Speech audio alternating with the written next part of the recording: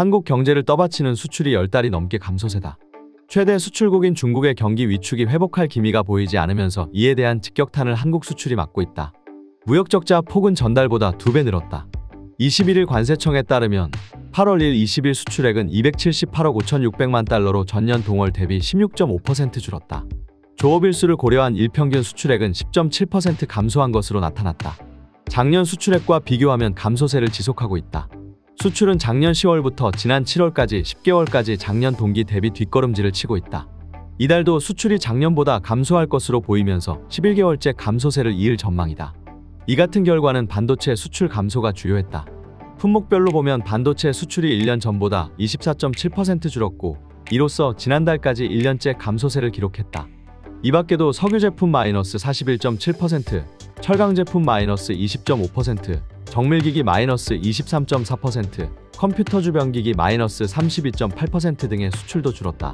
반면 승용차 20.2%와 선박 54.9% 수출은 늘었다. 국가별로는 중국에 대한 수출이 27.5% 줄면서 14개월째 감소세를 이었다. 미국 마이너스 7.2%, 유럽연합 EU 마이너스 7.1%, 베트남 마이너스 7.7% 등도 감소했다. 수입 규모도 수출만큼 줄었다. 이 기간 314억 2천백만 달러로 작년 동월 대비 27.9% 줄었다. 품목별로 보며 원유 마이너스 37.4%, 가스 마이너스 45.2%, 석탄 마이너스 49.1% 등의 에너지원이 감소했다. 반도체 마이너스 25.1%, 승용차 마이너스 46.3% 등도 감소했다. 국가별로는 중국 마이너스 22.1%, 미국 마이너스 35.8%, EU 마이너스 20.7% 등이 줄었다. 경기 둔화 상황의 무역수지 적자 규모도 전달보다 두 배가 됐다. 이 기간 무역수지는 35억 6,600만 달러 적자를 기록했다. 지난달 같은 기간은 13억 5천만 달러 적자였다.